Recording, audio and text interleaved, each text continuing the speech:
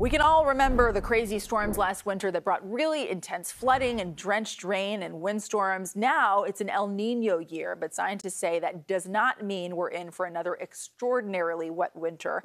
El Nino is characterized by warmer conditions in the tropical Pacific that can lead to rain and storms for California, but not always.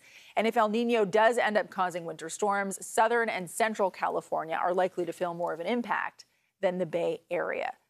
Well, the man to sort that all out for us is Paul Heggen, because I'm going to be honest. That's not really my forte, but I know he understands all of it, and thank goodness you're here. Yeah, we'll try to break it down because it is complicated. As you mentioned, the typical pattern that we associate with El Nino is for wetter than normal conditions in the southern half of California, really emphasizing Southern California in particular, because that warm ocean water in the Pacific displaces the jet streams, the storm tracks that carry storm systems across the country and around the entire northern hemisphere, around the entire world. So why is it complicated?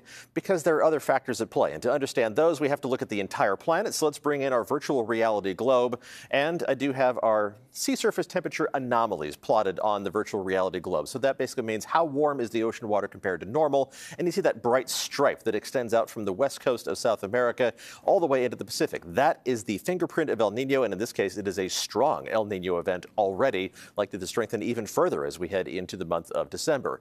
The complicating part is that it's not the only factor that we are tracking in terms of those warm ocean temperatures. There's also a big blob of very warm ocean water for this time of year in the North Pacific. And on the other side of the planet, there's a whole big area in the Atlantic Ocean that is much, much warmer than normal. So instead of the one roadblock of the warm El Nino waters rearranging the storm track, we have a whole obstacle course of different things at play, trying to push the weather in different directions and trying to unravel exactly the impact that they're going to have is extremely tricky. The Climate Prediction Center does their best, and their latest outlook for the month of December just came out today, pointing to a wetter than normal pattern for the Pacific Northwest not for the Bay Area, not for Southern California. Now, as you look a little farther down the line, the three month outlook for December, January, and February does show more of that El Nino fingerprint with wetter than normal conditions anticipated for most of California, including not only the Bay Area, but also Southern California, where that impact tends to be more emphasized.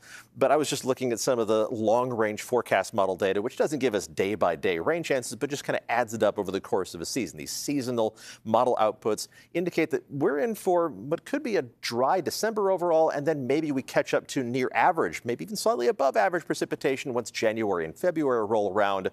We'll keep you updated as we head through winter. But again, the fact that it's not just El Nino, but all these other factors at play really throws some sand into the gears of what we're trying to figure out.